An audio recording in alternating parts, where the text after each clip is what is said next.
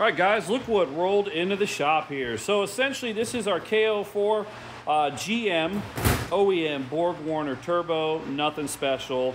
Stock unit on an LNF Ecotec engine, and we picked up, well, Chinese.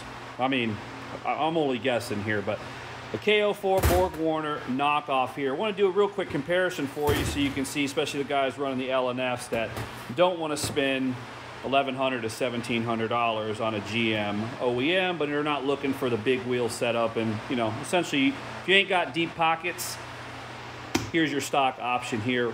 Looking at the two side by side, really, I mean, they're exactly the same. You got your bypass valves right on the top. Who knows if the quality is exactly the same. We're gonna get this installed here shortly and give you guys a comparison video on what's going on.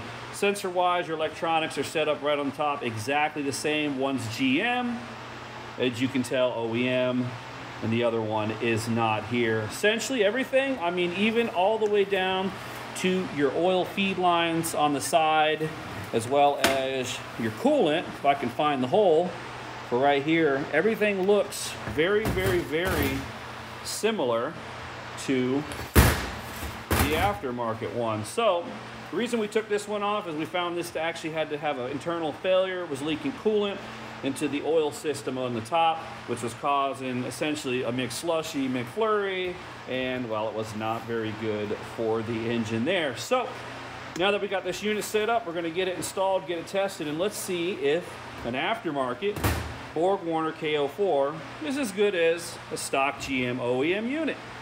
So the plan is to drop it right into this sucker, which is an LNF Ecotec engine, which is the same that's in the Pontiac Solstice GXP. Want to see the full installation video? Go ahead and hit the like and subscribe. Check out the links below so you can get caught up.